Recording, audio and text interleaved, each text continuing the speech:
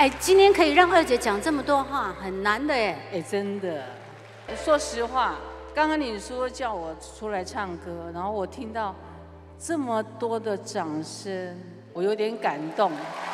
谢谢，谢谢大家。江辉上个月宣布重返舞台，将登场台北大巨蛋为国庆晚会献唱，在今日却抛出震撼弹，表示当年2015年封麦原因竟是离癌。亲笔写下这九年来积极抗癌心情，表示医院成为第二个家。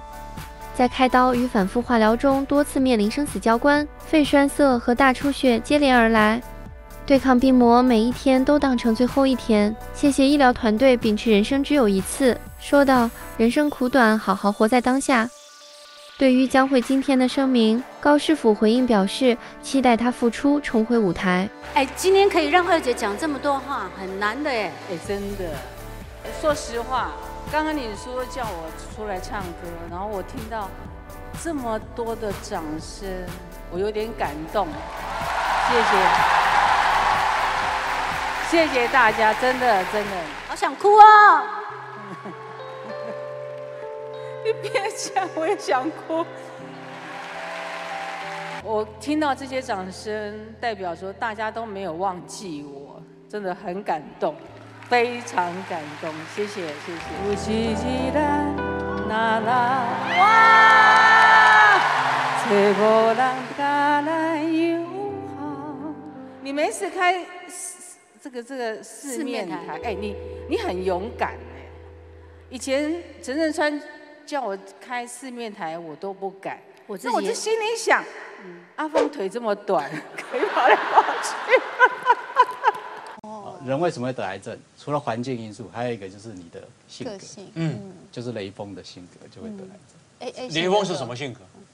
追求完美。嗯，啊，追求别人的赞同。哎，活在别人的价值里面。嗯哼，这个就是典型的离癌的人格特质。嗯，这是在。放开没亏也这样来讲对。就是惊啊，压力太大。我们可以闽南语叫做惊嘛，嗯，啊，再是就是说你你你外表风光，可是你内在承受的一些无比的压力，嗯，没有办法宣泄啊。也就是碳水化合物多，它通常容易产生一个问题，就是说它容易刺激细胞的生长，嗯嗯，那刺激当然往好正常细胞没有问题，可是它容易产生不正常细胞，嗯，假设你的环境不好，变不正常细胞，所以肥胖现在已经是离癌的一个确定的危险因对。对，跟大部分的癌症都有关。嗯哼，所以当你得到癌症以后呢，你应该把你的碳水化合物的摄取量减少，不要让一个不正常的细胞得到养分。嗯，而且这是一九三九年，呃，叫做 Waber Effect 哈，瓦格效应。这是一九三九年的德国的一个诺贝尔奖得主他发现，嗯，也就是癌细胞它的立腺体是靠碳水化合物来当做能量。啊，所以你不吃碳水化合物，减少它的能量摄取的一个来源。嗯哼，这时候你用油脂来代替。是好油。三个生活中不易察觉，但是却影响肺部的危机。他说，第一个是什么呢？就是呢，会有很多碳微粒发散的印表机。好，今嘛你那办公室边啊，你就这印表机的人，那你就要小心了。好，另外一个是气炸锅，哦，电烤炉这种加热源的电器。第三个呢是啊，家里面打扫常常使用的化学清洁剂啊。如果你在家里面常常使用化学清洁剂在打扫，那你要小心哈。哦，人为什么会得癌症？除了环境因素，还有一个就是你的性格。嗯，就是雷锋的性格就会得癌症。哎哎，雷锋是什么性格？追求完美。嗯，啊，追求别人的赞同。哎，活在别人的价值里面。嗯哼，这个就是。典型的离癌的人格特质，嗯，这是在没亏也对，就是惊啊，压力太大。我们可以闽南语叫做惊嘛，嗯，啊，再是就是说你你你外表风光，可是你内在承受的一些无比的压力，嗯，没有办法宣泄，嗯哼，所以可以解释为什么你刚才提到的这几位名人，对，抽烟啊、喝酒啊，或者其他我们认为可能不良的嗜好，对。可是因为他的情绪有所宣泄，嗯哼，他有所舒压，是。虽然烟酒不是好事情，嗯，可是他的舒压，可能也相对抵消了这个烟酒的一些可能的副作用。哦，那所以我们可以这样解，人生莫想惊，对不？呃，你已经会惊不？哎，以前会惊醉才会得癌症。你我惊？呃，因为当时呢，我自己要负责一个大概有将近四百位员工的一个私人的医院的的运营了，所以就变成说，呃，你要承受的一个就像一个企业一样，嗯，你要那个企业可以继续的维持它的运营，但是一方面我要去读书嘛，嗯哼，那你基本上所谓高处不胜寒，对哦，啊，就是所有的人都是看你在决策一样，嗯哼，那你有什么事情，你通常也只能自己，呃，无语望问问苍天嘛，有时候你必须决定这条路往左边还是往右边，嗯，右边可以让你成功，左边可能是一个错误的决策，对，可能会让这个。哦，整个事业或者整个医院的运营面临一个一个营运上的一个波动，就哦，所以就是说你变成你要承受很多的。所以得肺腺癌是有一半的人像你安呢，还坐在这里，有一半的人已经跟你讲了。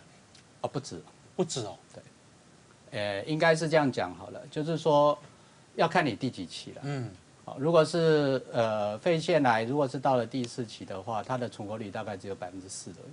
嗯，也是九百分之九十六的人都会走掉，真的。对，但即使是第一期，大概也只有百分之七十五会活超过五年。哎，所以为什么肺肺腺癌很可怕，就是这样。哦，有有有有有，哇，恭喜哦，谢谢，不简单哦。然后，所以你现在的的压力还有搞那么大吗？我我想一个很重要就是说，为什么我的书名叫做《心转癌治愈》？对，不好意思哦，蔡医师说买他的书，看他的书可以活多活十年哦。如果确实做到，因为嗯，我们现在的人就是承受过多的压力，无法宣泄。对。所以你看，现在线上的游戏啊，为什么会那么风行？嗯，啊，因为人与人沟通变得少了，对，反而靠着单向的这个线上游戏疏解。对。像最近这几天的这些，啊，这些情杀的这个。新闻大家就可以知道，嗯，现在潜在性压力很大，嗯哼，而且现在的压力大部分都靠一些不正常的方式，就不一定那么正常了啊，啊，比如说很多人现在都靠着甜食，哎，这也造成肥胖，对，好，就是用其他的方式去宣泄这些压力。你困尿后不？我本身很好睡，但是我在在我呃求学，就是在读博士班那段时间，我睡不到六小时，是因为我没得睡，嗯，不然我本身是很好睡的。睡不到六小时，其实对身体不好哦。对，因为伤肝嘛。那你还有做气功，对你帮助很大。气功本身，我就是因为得到癌症之后呢，才去学习的一个，呃，叫做养生的方式。嗯嗯。那本来我自己都是从事比较所谓西方式的运动。对。啊，登山啊，球类啊等等。但是我后来发觉说，球类是哪个球？呃，我打网球。嗯。呃。各式各样球类，乒乓球啊，我都喜欢。其实那个运动量都够我有在打，都有。我基本上都都都打。呃，事实上，我们现在的环境，我们的营养的摄取里面有一些所谓的呃比例上的偏差。嗯哼。因为过去在营养学认为说，我们的碳水化合物摄取大概是在在百分之五十左右。嗯。哦，过去。碳水化合物就简单的讲，帮黑都吸收。哎，对对对，主食主食类的哈，米啊麦类的这些食物。对。但是呢，因为我们现在的生活环境改变了，我们现在的人吹冷气房，走路很少，坐电梯出门开坐车开车，所以我们的活动量少。嗯嗯。那主食呢？碳水化它的功能是它是产生立即性的能源。比如说你是做农的，你是做粗重工作的，你需要大量碳水化合物，不然你没办法持续的工作。可是因为我们现在的没有这样子的生活形态了。嗯。所以为什么我们现在吃了这些过多碳水化合物？以后呢，它会堆积变成我们的脂肪，哦同时它会刺激我们的呃有一个专业术语叫做呃胰岛素的叫做嗯生长因子嗯 one 哈，这个生长因子它往好的就是让我们的细胞新增，因为你吃太多没有用，那就要长肉啊，长身体的组织。那可不可以请教你？对，你你你一餐吃多少？就是还没有得癌的时候，你一餐吃多少饭？呃，我通常吃一碗饭。一碗？对。好好好，一碗有剩胸椎吗？哎，不是井蛙问题，哎，应该是说你还吃了很多的甜食啦，甜的水果啦，现在的压力大啦，啊，所以你会有饭后的这些呃餐饮啊的甜点呐，所以你加起来这些都是碳水化。哇，同事有时候都觉得他在害人，他都会带那个什么，哎，凤梨酥。啊，对不？常常会蛋蛋糕啊来啊，在当时空开，但是你又不敢不好意思跟他吃一块啊，那时候就就来了，对不对？对。那我我简单讲好了，因为是节目的关系哈，也就是碳水化合物多，它通常容易产生一个问题，就是说它容易刺激细胞的生长。嗯嗯。那刺激当然往好，正常细胞没有问题，可是它容易产生不正常细胞。嗯。假设你的环境不好，变不正常细胞，所以肥胖现在已经是离癌的一个确定的危险因素。对。对，跟大部分的癌症都有关。嗯哼。所以当你得到癌症以后呢，你应该把你的碳水化合物的摄取量减少，不要让一个不正常的细胞得到养分。嗯。而且这是一九三九年，呃。叫做 Warburg effect 哈瓦格效应，这是一九三九年的德国的一个诺贝尔奖得主他发现，嗯，也就是癌细胞它的立腺体是靠碳水化合物来当做能量啊，所以你不吃碳水化合物，减少它的能量摄取的一个来源，嗯哼，这时候你用油脂来代替，吃好油，所以生酮饮食现在是最最好的油应该是九八吧，呃，应该是说呃以学术上来讲啊，就是 omega three 的。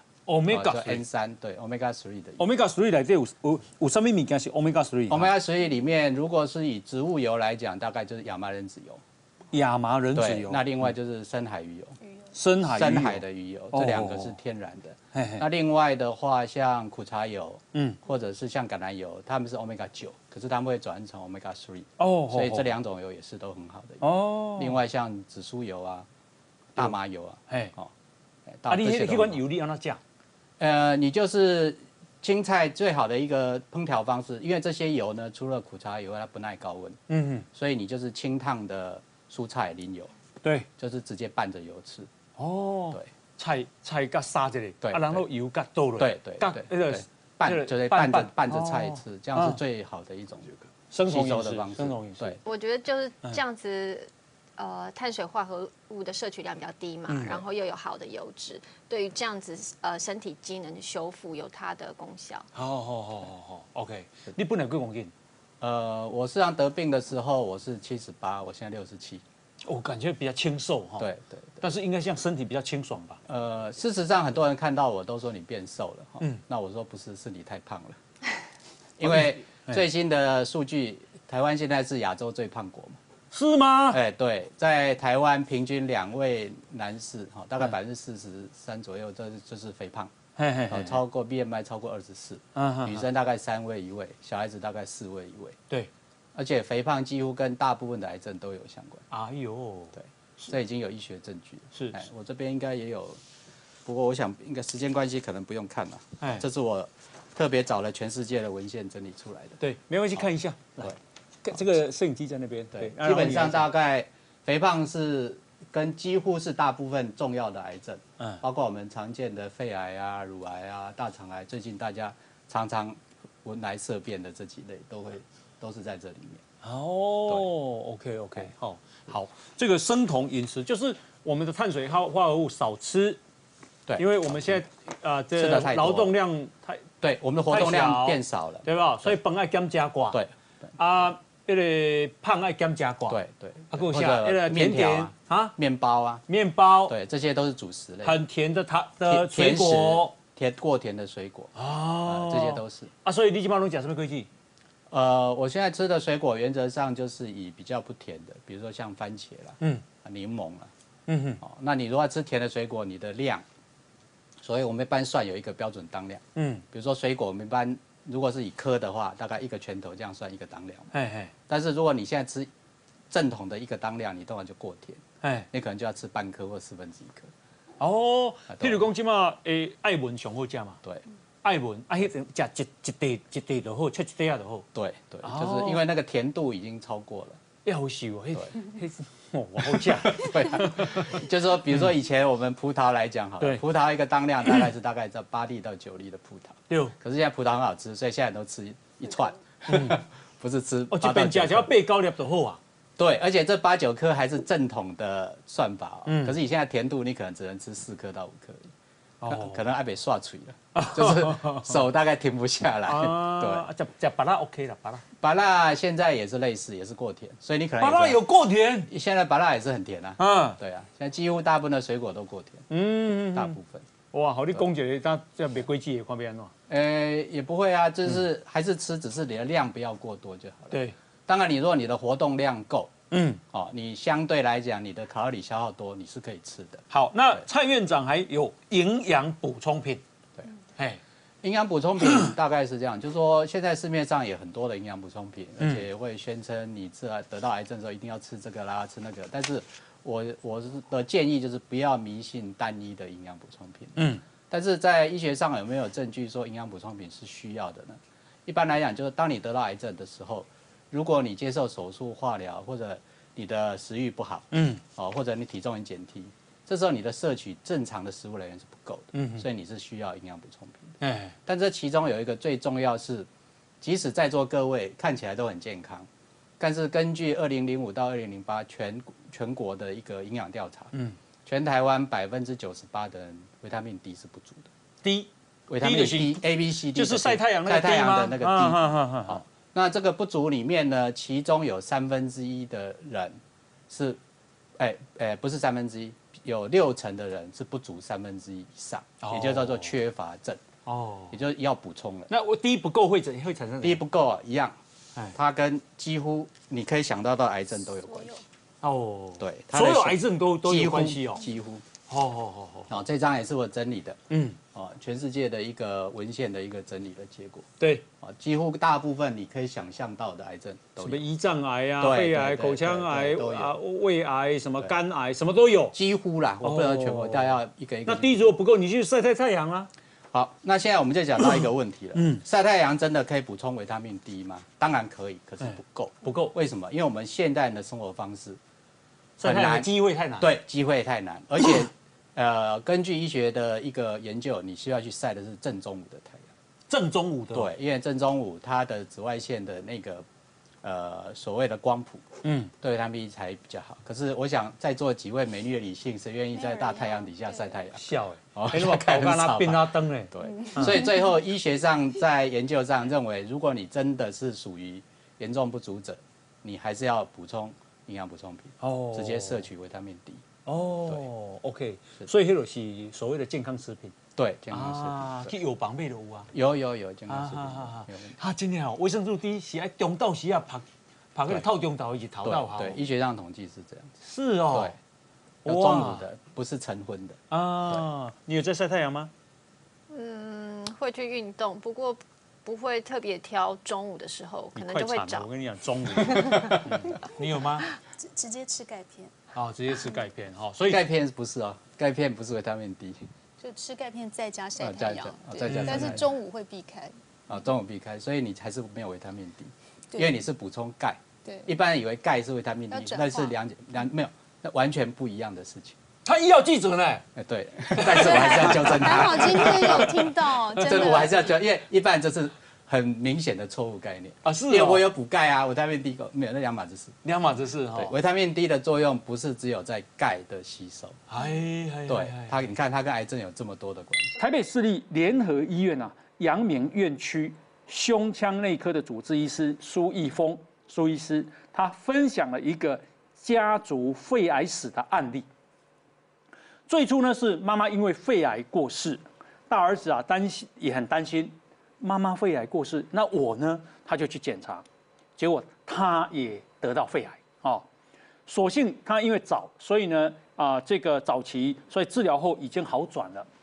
然后呢，他儿子啊这个啊咳嗽了一个多月，他觉得不寻常，他叫小儿子也去检查，结果小儿子是肺癌第四期，好第四期，应该小儿子应该真笑脸嘛。嗯。那之后妈妈肺癌去世，我们假定他八十岁好了。嗯。他的儿子也应该差不多五十几岁，嗯，所以他的儿子才二三十岁呢，嗯，是，照理说呢，已经肺癌第四期了哈。好，那苏医师啊，就整理了三个生活中不易察觉，但是却影响肺部的危机。他说，第一个是什么呢？就是呢，会有很多碳微粒发散的印表机。好，今嘛你那办公室边啊，你就坐印表机的人。那你就要小心了，哈。另外一个是气炸锅，啊，电烤炉这种加热源的电器。第三个呢是啊，家里面打扫常常使用的化学清洁剂，啊，如果你在家里面常常使用化学清洁剂在打扫，那你要小心。英国皇室发布了最新的影片，这也是凯特在国王查尔斯生日庆典之后第一次公开谈论自己的病情。影片里，凯特表示，现阶段终于在这个秋天完成了癌症化疗，这一切带给自己和家人无比的快乐和轻松。The cancer journey is complex, scary, and unpredictable for everyone, especially those closest to you. This time has above all reminded William and me to reflect and be grateful for the simple yet important things in life, which so many of us often take for granted. Of simply loving and being loved。英国媒体报道，肯辛顿宫表示，凯特王妃距离完全康复还有很长的路要走。未来的日子里，凯特还是要把身体健康放在第一位。但是接下来，她也会慢慢参与越来越多的皇室活动，例如今年的英国国殇日纪念与圣诞节活动等。I am, however, looking forward to being back at work. and undertaking a few more public engagements in the coming months when I can. 看着影片中一片秋日景象，凯特和威廉与三个孩子的其乐融融的幸福画面，真的是隔着荧幕就可以感受到他发自内心的快乐与平和。I remain with you, side by side, hand in hand. Out of darkness can come light. So let that light shine bright.